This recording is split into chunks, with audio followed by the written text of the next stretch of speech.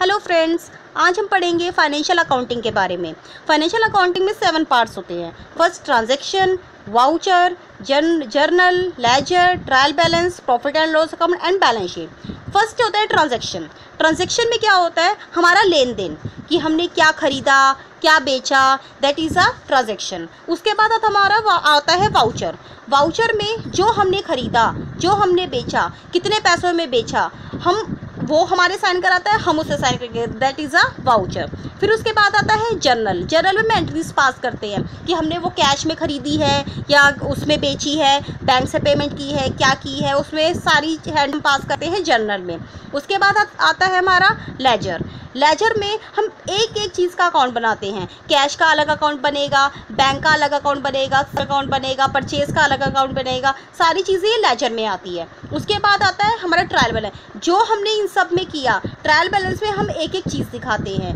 कि हमने ये चीज़ इतने में खरीदी, इतने में बेची तो that is the trial balance उसके बाद आता है profit and loss account profit and loss account में हम निकालते हैं नेट प्रॉफिट कि हमें इन सब में करके कितना हमारा प्रॉफिट निकला है, कितना हमें लॉस हुआ है, इससे हमें ये पता चलता है कि हमारे बिज़नेस में हमें प्रॉफिट हो रहा है या लॉस हो रहा है। उसके बाद बनाते हैं हम बैलेंस शीट इन सब का वो करके फिर हम फुल एंड फाइनल हमारी बैलेंस शीट होती है क्या कितनी हमारी लाइबिलिटी खड़ी हुई है, या कितने हमारे पास असेट है, कितनी हमारी इन्वेस्टमेंट हुई है। दैट फुल एंड फाइनल होता है बैलेंस शीट उसके बाद हमारी आती है